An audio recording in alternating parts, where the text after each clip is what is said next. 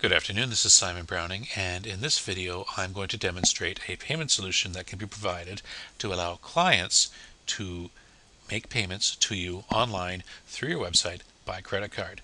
It's the solution that we actually have in place on our own website at seethroughweb.com and so I'll demonstrate it here.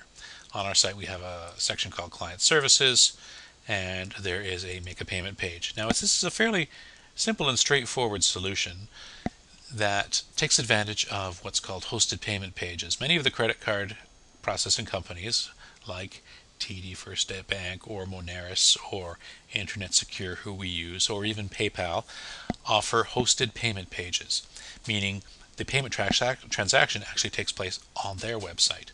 So on our website, where we still are, a client would come to this page and they can enter their invoice number, one, two, three, four, five, and their amount. And we could add a field for their name or company name if we wanted to, and then they click submit. When we click submit, what's going to happen is we will be transferred over to the secure website of the payment processor. So I'm going to click submit and oh I have to confirm my information proceed with payment and you'll see that we're transferred now to https so it's an SSL encrypted site, secure.internetsecure.com. The advantage to doing it this way is we don't need to add any extra SSL security to our website and we don't have to pass through any security audits or anything like that. So there's basically a cost savings and hassle savings. Once the client gets to this page, they would enter their information. Now these pages can be customized. This is Internet Secure and we have an opportunity to add our logo and also to change the color scheme. Some of the sites actually give you quite a bit of freedom in, in what you can do to make this represent more your branding in your own website. Um, and it depends. Uh, we recently worked with Desjardins and this page is almost completely configurable.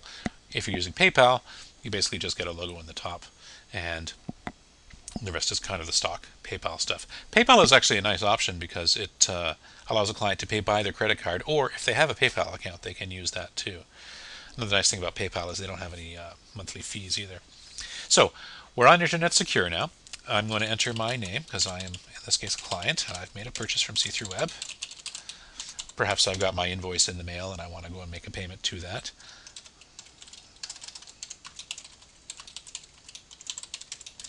So I'm going to enter my address information. Uh, what's that?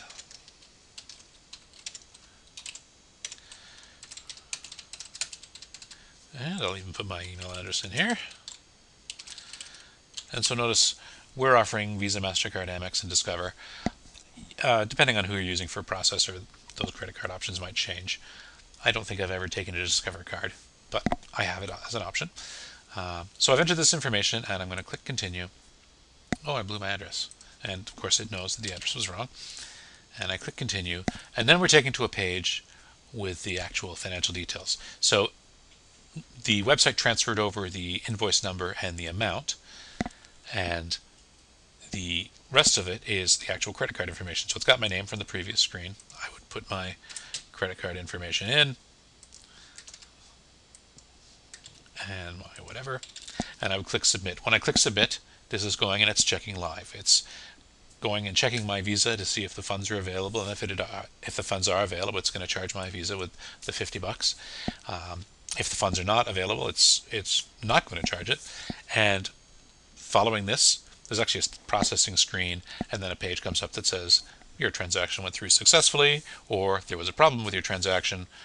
Click the button and you're then returned to, back to See Through Web. And when you return to See Through Web, which is my website, um, you either come to a, a, thank you for your payment page, or you come to a page that says, oops, there was some problem, please try again or contact us. Then what happens is emails get sent out. So the person making the purchase gets an email that says, it's a receipt basically for the purchase. And us as the administrators get an email that says you have received a payment for $50 or whatever. And that's it. We have the money then, and we carry on carry on as we need to. It's it's uh, like I was saying, it's a fairly inexpensive solution. It's hassle free. We have to do very little to your own website other than add a page on here and then configure the payment gateway itself. So thank you very much. If you have any questions or you'd like to do something like this, please feel free to contact us or give me a call or send me an email. You saw my email address. Thank you. Bye bye.